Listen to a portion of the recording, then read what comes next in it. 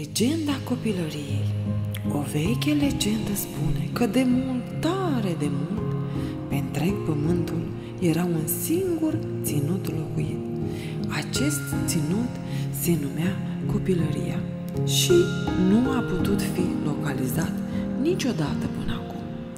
În acest ținut locuiau doar copii mari și mici, lipsiți de griji și probleme.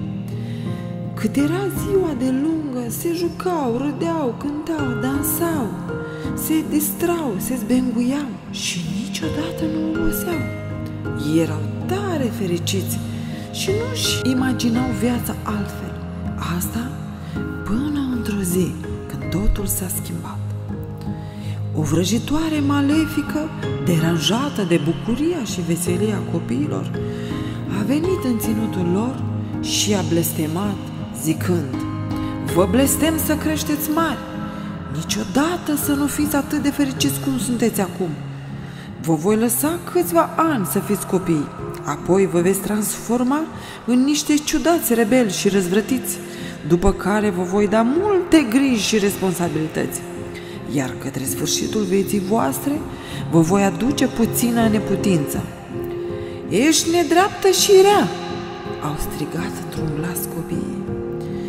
Vrăjitoarea nu s-a lăsat însă înduplecată nici de lacrimile copiilor, nici de rugămințile lor. Când a dat să plece, o fetiță cu niște ochi mari și negri s-a pus în genunchi în fața ei și a spus În numele copilăriei, te rog, să ai puțină milă de noi copiii. Uite, pentru că am fost odată și eu o zână bună, vă voi lăsa o portiță de scăpare. Veți putea fi la fel de fericiți ca și acum, doar cei care îi veți iubi necondiționat pe cei de lângă voi.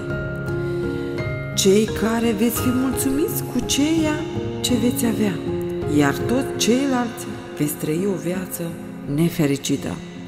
Acestea fiind spuse, vrăjitoarea se făcu nevăzută și niciodată nu și-a mai făcut apariția în ținutul copilăria.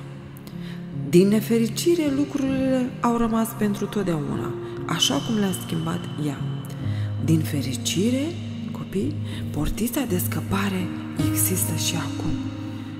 Așadar, haideți să iubim și să fim mereu mulțumiți fiecare cu ceea ce am primit.